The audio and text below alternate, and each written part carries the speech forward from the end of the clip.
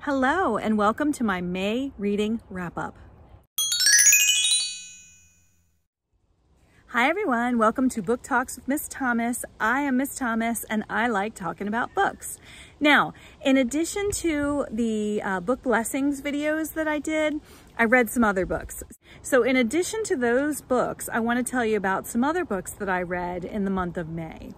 Um, the first one I DNF'd, so I'm just going to tell you that up front. I waited for this book. I was on the list to get this book. I was really excited because it sounded like a funny book about elderly people, and you know I'm a sucker for um, cozy books about elderly people. This was not cozy. It was not funny. It was crass and vulgar, and I ended up DNFing it, and it was called Silver Alert. So Silver Alert was the story of a man. He was older. He was on his third wife. His third wife had dementia and he finds this woman who does manicures that for whatever reason can uh, sort of walk the wife off the ledge, if you will. She calms her down and has a really uh, relaxing effect on this uh, elderly woman with dementia. And I liked that aspect of the book and I listened for a while, but I just couldn't deal anymore with all of the blasphemy and the profanity and the sexually crude comments in the book. So I ended up DNF. I did one. need my, uh, you know, granny fix. and so I read High Cotton, which is a part of the Granny series. I've talked a lot about the Granny series. This is the third one, I think, in the book, in the book series. And this one is about um, well, in this one, you need to read the first two because in this one, um, Lillian gets out of jail. So that's exciting. Um, if you haven't heard me talking about the Granny series, In for a Penny is the first one. And Lillian is this little old lady and she gets arrested. She goes to jail and she um, teaches etiquette class in jail and it's really cute. And then um, she makes a friend in jail, sort of a frenemy named Big Martha. And she's like this, this lady who kind of rules the roost in jail. And then she's got these friends at home who solve mysteries. And in the first book, In For a Penny, they're trying to solve a mystery to get Lillian out of jail. Um, and one of the friends is like, her name is, uh, Serendipity, I think, and she goes by Sarah, and she's like this trippy hippie lady, and she teaches yoga.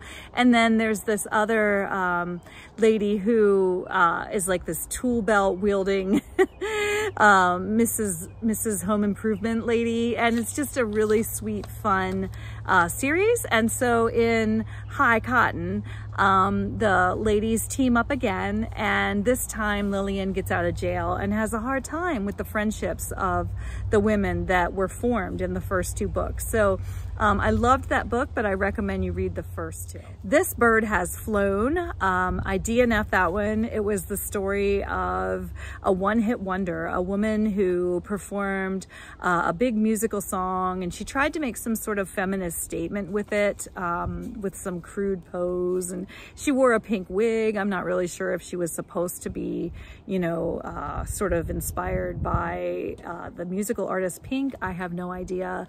I DNF'd it because because the woman was just so uh, she needed a man, you know, and I have trouble with women like that. I'm not a romance reader anyway, but this wasn't so much a romance as a woman. She, uh, she gets dumped by this one guy and he's getting married. So she has a hookup with another guy and then she moves in with another guy. And I, I, ugh, I was just like, enough already. Yeah, that's not why I signed up for this book. I thought it would be about a woman and her, her friendship with her, uh, her musical manager manager who actually seemed very nice and fun. I would have loved a book about her instead.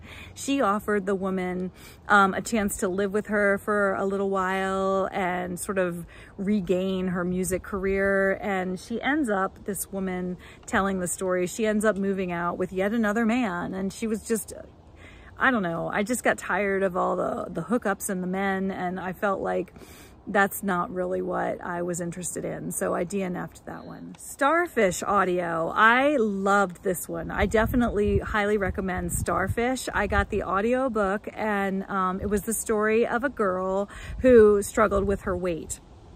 And um, by that, I mean she needed two seats on an airplane. She was, um, you know, very overweight. And she talks throughout the book about her experience and what it's like to be a girl growing up with a weight problem.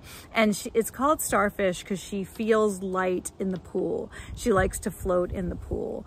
Um, she makes a wonderful friend who lives next door. And that uh, young lady is...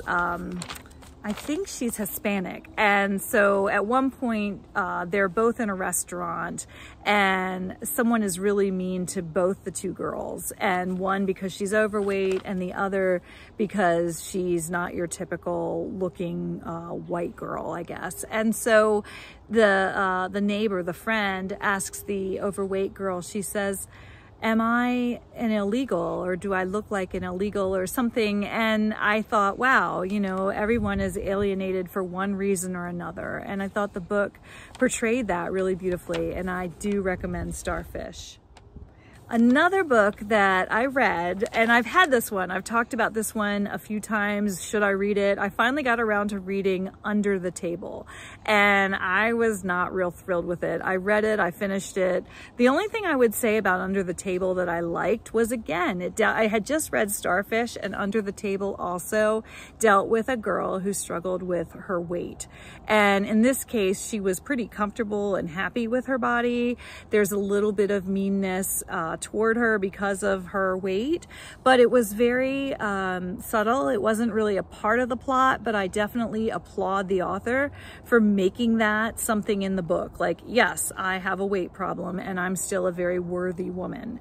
And I liked that about the book. The rest of it, meh, it was a lot of like, you know, she has trouble with uh, her marriage and so she jumps into a relationship with another guy. I don't know why these books are pushing um, romantic relationships on people. That's really not what I'm interested in when I read a book. I thought it was going to be about a book, start a book about a woman starting her own catering business and, um, you know, like a scrappy woman getting ahead in the business world. And it was just another, oh, does he love me? Does he not love me? Boo hoo. I, it's not for me. I also um, tried to listen to some audiobooks with my teenager on a road trip. I haven't decided if I'm gonna do a separate video about that. I may, I may not. But the long and short of it is that um, my teenager was in no way interested in the audiobooks that I selected and I couldn't really blame him.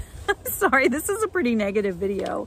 But um, these, these audiobooks for teenagers that I selected based on what, you know, Google told me would be interesting interesting to a teenage boy were very disappointing. And so he had the AirPods in and wasn't paying attention. And I gave up and I just started listening to a book that I thought would be interesting. And I did enjoy that one. So I'll end on that high note. I very much enjoyed Arsenic and Adobo, and that is the first um, cozy mystery in a series. The series is called Tita Rosie's Kitchen.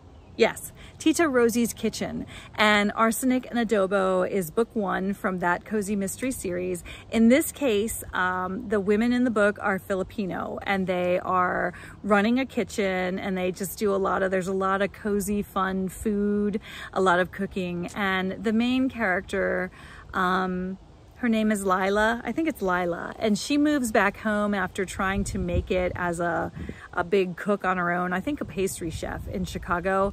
And she moves back home with her aunties and there's, uh, I think four of them.